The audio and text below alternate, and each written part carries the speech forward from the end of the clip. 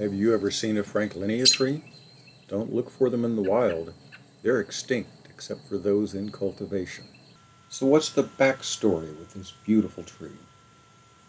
In 1765, botanist John Bartram and his son William found a patch of these trees growing in the Altamaha River Valley in the British colony of Georgia.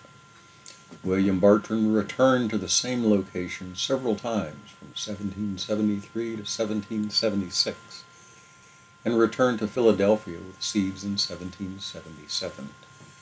It took him until 1781 to get the tree to produce flowers. William Bartram named the tree Franklinia altamaha for his father's good friend Benjamin Franklin and for the river valley where it was found. Bartram noted that he never saw the tree growing any other place, and the tree was last confirmed in the wild in 1803. All of the Franklinia trees now growing in cultivation owe their existence to those seeds collected by William Bartram nearly 250 years ago. You can find Blandy's six Franklinia trees in the southeast corner of the Arboretum.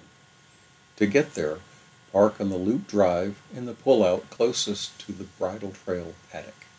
From there, walk north, following the tree line about 200 yards. Happy tree hunting!